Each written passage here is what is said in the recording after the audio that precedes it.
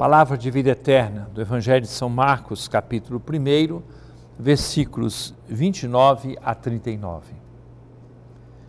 Naquele tempo, Jesus saiu da sinagoga e foi com Tiago e João para a casa de Simão e André.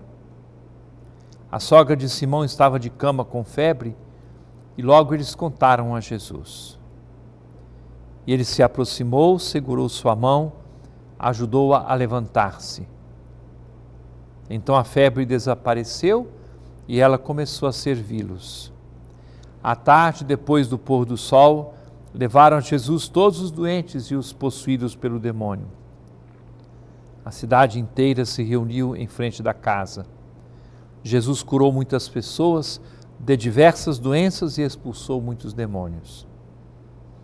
Não deixava que os demônios falassem, pois sabiam quem ele era. De madrugada, quando ainda estava escuro, Jesus se levantou e foi rezar num lugar deserto. Simão e seus companheiros foram à procura de Jesus. Quando o encontraram, disseram a Jesus: Todos estão te procurando. Jesus respondeu: Vamos a outros lugares, às aldeias da redondeza. Devo pregar também ali, pois foi para isso que eu vim. E andava por toda a Galiléia, pregando em suas sinagogas e expulsando os demônios. Você quer fazer uma experiência de missão junto com Jesus?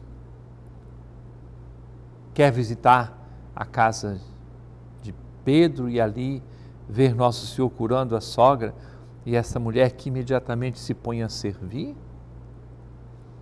Você quer testemunhar na frente da casa as pessoas que buscam Jesus?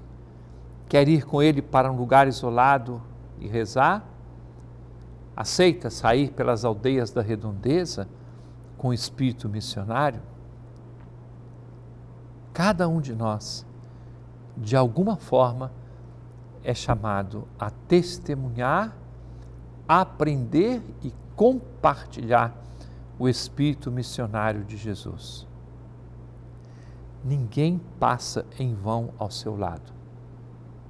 A todos ele toca com seus gestos, com suas palavras, com as curas, com a pregação, com a graça que vem sobre o coração das pessoas. Todos são igualmente marcados com a presença de Jesus Salvador. Essa é a experiência que somos chamados a fazer. Porque também hoje, através de sua igreja, da pregação da palavra, dos dons que ele coloca no coração da igreja, inclusive dom de milagres, através de forma mais forte do que tudo dos sacramentos. Pensemos na Eucaristia, pensemos no sacramento da penitência.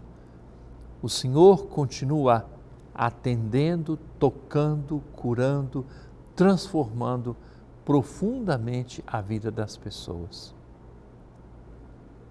Aqui está o convite a todos nós, a que ninguém se recuse a ir atrás de Jesus e testemunhar as maravilhas de Sua presença.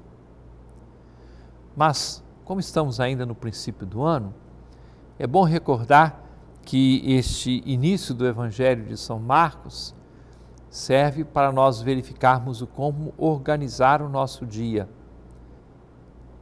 Este texto que ouvimos faz parte da chamada jornada de Cafarnaum. Como nós organizamos o nosso dia? Para Jesus tem visita à sinagoga, visita à casa das pessoas, atendimento dos que sofrem, tem oração e tem missão. Como você coloca todas essas coisas em sua vida? É palavra de vida eterna.